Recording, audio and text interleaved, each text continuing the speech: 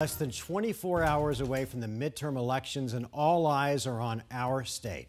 Team 12's Brahm Resnik is here in the studio with the very latest developments today, the day before the election. This is when the candidates just put everything out there before the votes are cast. And today, Democratic Senator Mark Kelly rolled out a new endorsement from a McCain we've never heard from until now.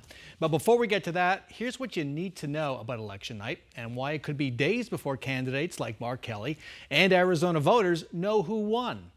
The first election results will be posted shortly after 8 p.m. Tuesday. Those will include all the early ballots returned before Sunday. It could represent more than half the total vote.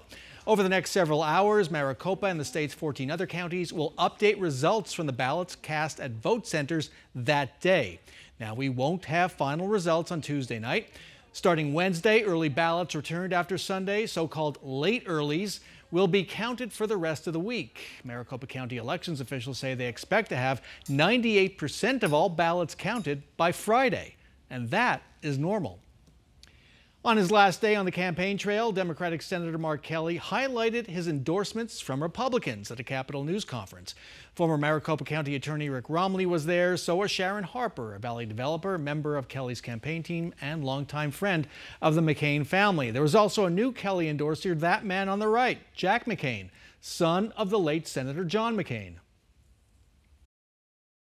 Can I ask you a question? I'm, so, I'm not on the record today.